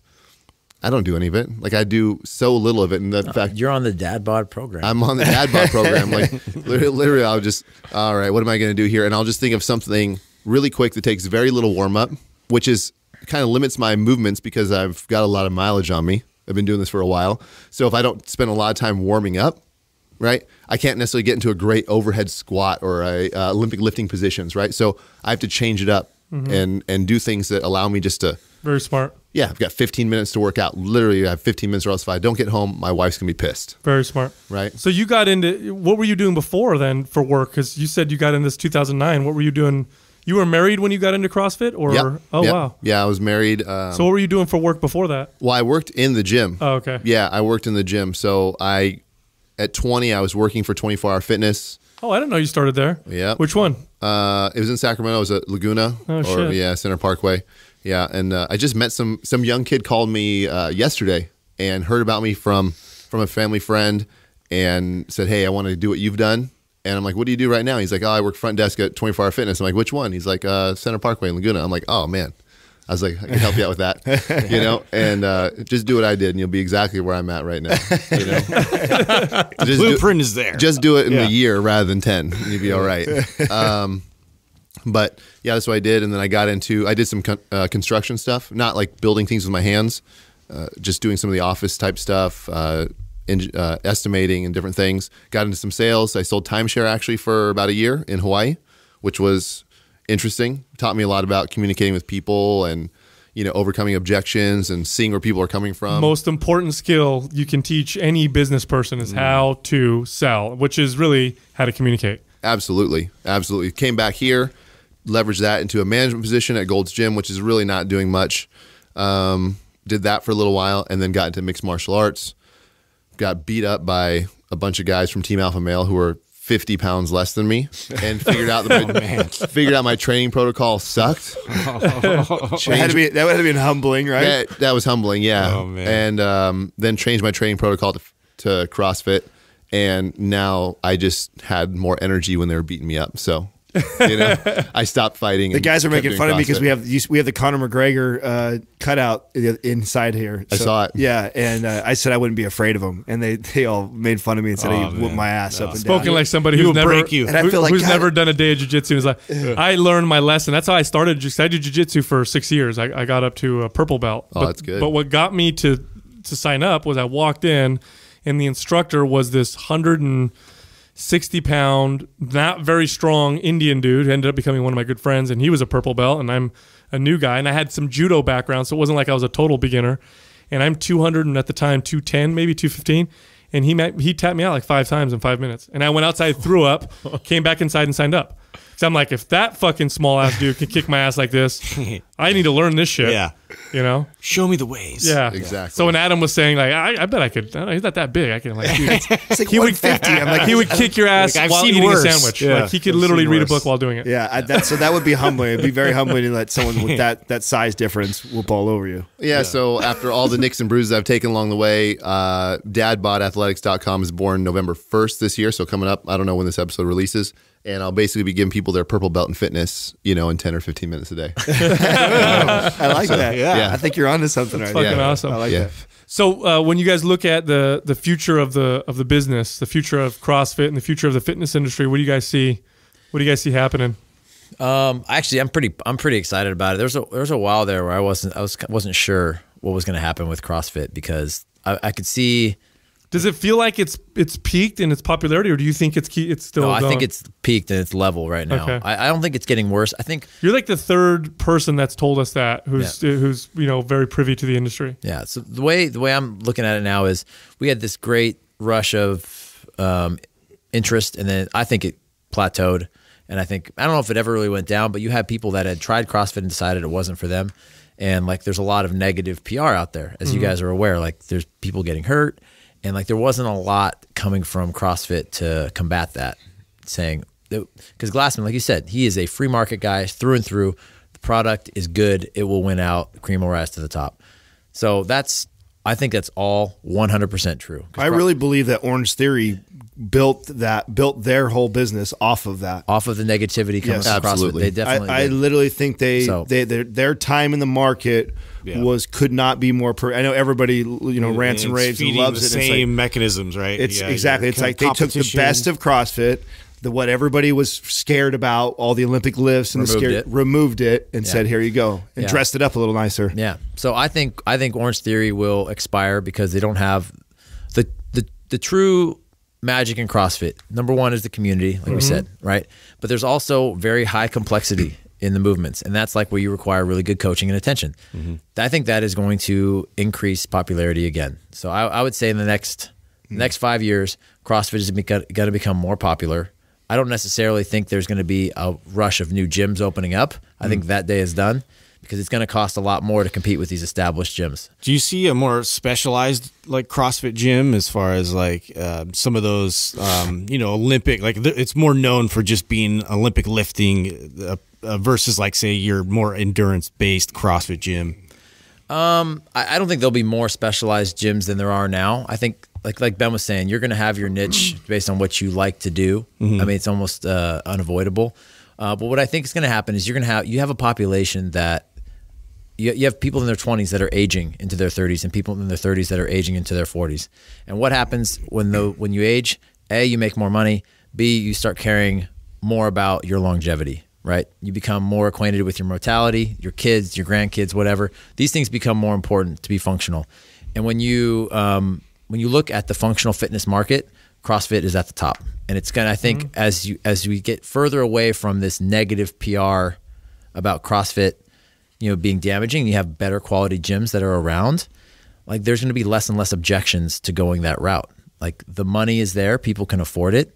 If the quality is there, there's no in my opinion there's still not a better way, a more efficient way to get to maximize your gym experience. The community, the culture, the the variety of movement patterns and mobility that CrossFit demands of people. If you have good coaches that are preventing you from overdoing it, like why not? Why not do that? So that, that's what I see happening. I think Orange Theory, like you said, they filled, they just they nailed it, man. Like they just nailed it. They took the stuff that was scary out. They they did enough of the same sort of thing, the high intensity circuit thing mm-hmm. that was like making people sweat and like feel like they got to work out it, and they they made it a game. You know, they did a great job. But I think what I when I ask people now, it's like how many people or what's the longevity of people at Orange Theory? Nobody's there longer than a year. They're not committed long term. It's, so it's still a fad. I think Orange Theory. I think I, I agree 100. percent I think we're going to see a huge drop off. Yeah. Well, you, you you talk about some of the struggles that CrossFit had at the beginning was the the lack of good coaches. Orange Theory's that times ten. Right. You're you're you're getting very entry level trainers that are at the facilities there, and it, it was part of the reason why. God, I, it's such a cycle in fitness too. I swear to God, you see that so so much. yeah, it's you know, and if there, wa- I think if there was a higher level of even coaching there, that the, the place would do better than members only showing up. Because what's happening is, you know, the the members are pounding on their body for they have this class for one hour.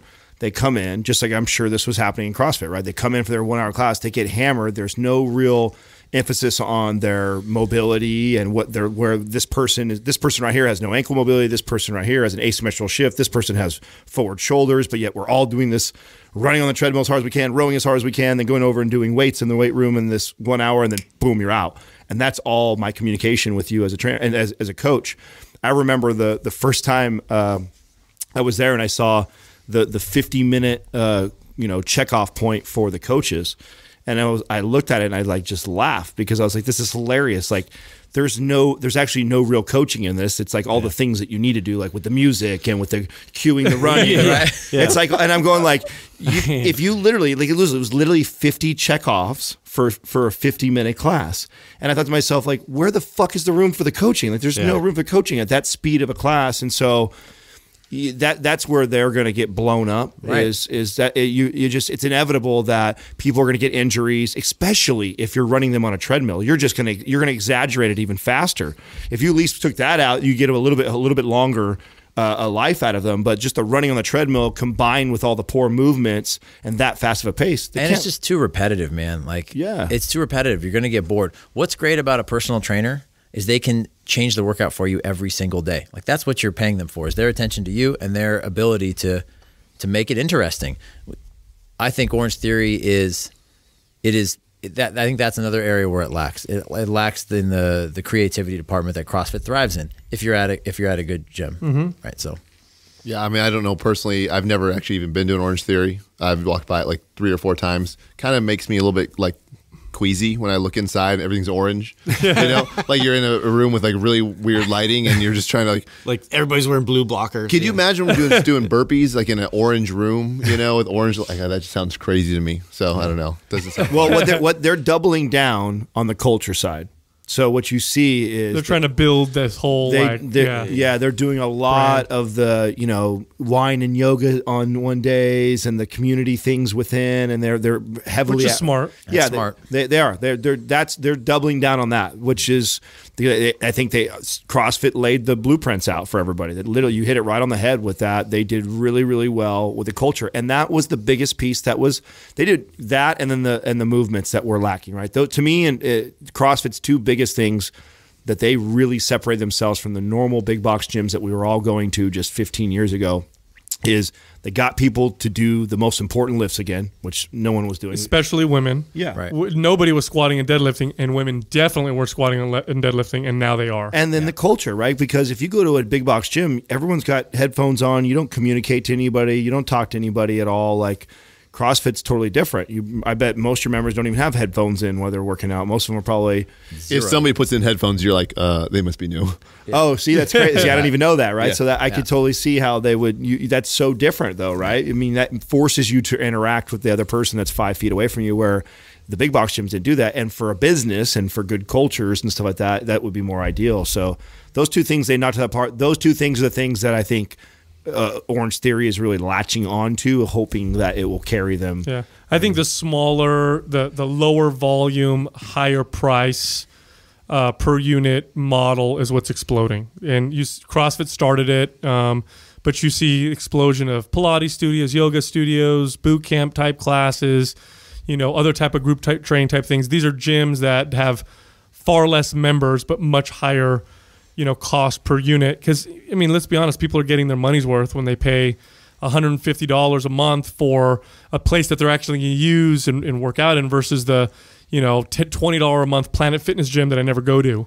You know, they're getting you- it's a totally different model, but that's where I see the that's the growth. That's where the growth is. Do you guys ever think about um, getting back down to just one and kind of doubling down on that place? And, and if I didn't realize the, how much one of those can make, do you ever think that the multiple facilities spreads you thin and doesn't allow you to like really make one just fucking un- best coaches ever, just c- incredible culture and the spot, and then you could raise your prices potentially? You ever think that way? Do you guys ever does that ever cross your mind? Yeah, all the time. we talk about it all the time because we, we have similar similar experiences. We have a, a flagship gym, and then we have like an expansion expansion location. Ben now has two, but for a long time he just had the the second gym. And and for both of us, our experience. I'll, I guess I'll just speak for myself. My experience has been that you can't you can't put the same heartbeat in multiple brick and mortar locations. You just can't do it. You try to. You want to proliferate your model, and you have this kind of arrogance that hey, I did it here, I can do it there. But the, there's so many factors, and the, the the heartbeat is just different. So you mm-hmm. have to let it be different, and that's okay. Um, so yeah, I thought about it. I came very close to to closing my second location and just focusing on the first one because it felt like it felt like that's kind of what was happening anyways. Um, but I, I, I went against that. And I'm glad that I did. I think that even if I think it's okay for the gyms to be different. I don't think it necessarily needs. They don't need to be at the same revenue level, the same membership level. You're just what you're doing is you're providing, you're providing something that that that demographic needs, right? And um, I think long term, I think long term because of the trends that I see that I think are going to happen, I think it's going to pay off To have multiple, to have multiple and been around for a long time and been around and be established. Yeah, I, I really do. I, like Ben said before, there's there's a lot of opportunities coming across our desks lately to buy gyms or to combine gyms because people are they're That's a getting good to sign. that yeah they're getting Yeah, to that point good. where they're like you know they've either they want to move on or they've had enough or it's just too much of a stress. Um, I, I think for me, like I look, at, you know, that question, like, hey, do you think it'd be easier if you had just one kid? yeah, it would be easier. You know what I mean? Like that's the real answer, right? Like, so do I entertain? But you don't want to get rid of They your all have their Yeah, different yeah, exactly. personalities. But which Yeah. kid do you pick? You know Yeah, what I yeah, mean? Like he's kind of an asshole, but she's No, got some, I already she's know which one I'd pick, but I'm not going to say because podcast live You forever, can't, right? man. yeah, I can't say. yeah, yeah. No, um, and really that one probably be terrible too if I didn't have anything to juxtapose it with. But the um, that idea of like, would you be able to focus on just the one? I think a location that has, uh, let's just say, one third of Blair Morrison at it because he's got two or three of them. Is better than a gym with no personality, with no guidance, Sure. with no captain, right? And over time, we'll learn better how to give a good amount to each one Yeah. and then those those will grow because the knowledge and experience that, that Blair has or the the mileage that he's that he's went um, really you can't duplicate that. You know what I mean? His experiences is is very unique to himself obviously. And if he wants to have a community that gets a little piece of that that's a good thing right? Yeah. and uh, I would think that same thing for me. People know I have like a like a like a drum I just pound like I've got four kids I've got three gyms I'm doing all this stuff all the time. People are like hey Ben did you train? I'm like no I've got four kids I've got three gyms. there would be You know it mean? would be a great like stitched. We should get producer Doug on this. Yeah, just Go mash it up. all the times Ben has said, "I got four kids." Yeah, Yeah. I got four kids. So I I got got four this big leather I'm diaper at, bag. yeah, I'm at regionals getting interviewed in front of like three or four thousand people, and they're like, "Hey Ben, how's your training?" I say, well, you know, I've got four kids and stuff, so I get it in when I can. You know what I mean? I leave my barbell load at 95 pounds. I'll do a few strict press, point, you know what I mean? Like, and I just do what I can, you know, and and that's like literally my mantra. But I just like I think there's enough for those four kids. I think there's enough for my three gyms, especially if we start doing things better. And that's what I think Blair and I's challenge, and probably any other affiliate owner, box owner, gym owner, is when they're trying to scale their business up. Mm-hmm. It's learning how to systemize things better so that everybody gets enough of you. Because you know what, I think I waste a lot of time and energy on things that don't really matter all that much. And I, if I can start better analyzing those and getting rid of those, and only focusing on my best practices, I think there's more than enough of me to go around for all three gyms. Absolutely, and I'll I'll say this right now. I think you guys have uh, a tremendous opportunity with your podcast. We we I've, I've talked to quite a few podcasters. We've been in the space for a while. You guys are really good. You have the natural ability to get on the mics and go. I think there's a massive opportunity with your podcast, and the cool thing about it is, unlike opening a new box, there you don't need to invest any more capital. The amount of time that you have to invest in it really isn't that much more than you know than maybe what you're doing now or a little bit more, but nothing like a new box. And the opportunity to reach the amount of people that you may want to reach to grow, you can't touch that with a box that's that relies on your local your, your locality. So that's where I would say you guys have a f- um, tremendous opportunity. Oh, yeah. Yeah. And uh, I really appreciate you guys coming on, Yeah. Oh, thanks, coming on, man. doing this, Yeah. doing Yeah, it's this with fun. us. Good time hanging out with you boys. for sure. Absolutely, yeah. Total We, we really enjoy you guys' podcast. You guys want to give it a shout out real quick? Go ahead, Blair. Blair's more articulate. He went to Princeton. long time ago. Yeah, our podcast is called Beyond the Barbell. So we focus on Ben and I's experiences as athletes, fathers, business owners. We try to get a little bit away from a lot of the science of programming and fitness and talk about the lifestyle, uh, what people, what struggles people go through, what experiences we have. Um, and so we, I mean, I mean, it's a guest based podcast. We almost always have a, we almost always have a guest on the show. It's been around two and a half years. It's like a, a labor of love for us. You know, we have a lot of fun doing it. We do a lot of traveling for it. You know, we go down to a lot of the big events, the CrossFit Games, Spartan World Championships, um, and it's not limited just to CrossFit. So we try to we try to branch out. I mean, you guys set a great model for this, like being um, open to all different forms and um, experts and things like that. It makes it more interesting, and that's kind of what what we like to do as well. So. Uh, we're really happy to be here with you guys for sure. Awesome. Well, maybe you'll invite us down to the CrossFit Games because I think the only way we could go there. Yeah, is we yeah. had You guys have to we, sneak need some in the back. We need some street cred if we're gonna Yeah. get in. If we're gonna get Yeah. in there, we need Yeah. some some guys that have been there and that For sure. Yeah. uh, make sure we don't get fucked with. No, we- Yeah. we got your back, guys. We got your entourage. Yeah, we're OGs, man. We're good. Oh, good. good. We can get anybody anywhere. That's right. That's Excellent. So check this out. Go to YouTube, subscribe to our channel, Mind Pump TV. We're gonna have some sick videos up for you to watch today. Also, if you go to mindpumpmedia.com, Sick? we're offering. Go on, dude. I know that word. uh, We're offering 30 days of coaching for free. Just go to the site and uh, register. Thank you for listening to Mind Pump. If your goal is to build and shape your body, dramatically improve your health and energy, and maximize your overall performance, check out our discounted RGB Super Bundle at mindpumpmedia.com. The RGB Super Bundle includes MAPS Anabolic, MAPS Performance, and MAPS Aesthetic. Nine months of phased expert exercise programming designed by Sal, Adam, and Justin to systematically transform the way your body looks, feels, and performs. With detailed workout blueprints and over 200 videos, the RGB Super Bundle is like having Sal, Adam, and Justin as your own personal trainers, but at a fraction of the price. The RGB Super Bundle has a full 30-day money-back guarantee, and you can get it now plus other valuable free resources at mindpumpmedia.com. If you enjoy this show, please share the love by leaving us a five-star rating and review on iTunes and by introducing Mind Pump to your friends and family. We thank you for your support, and until next time, this is Mind Pump.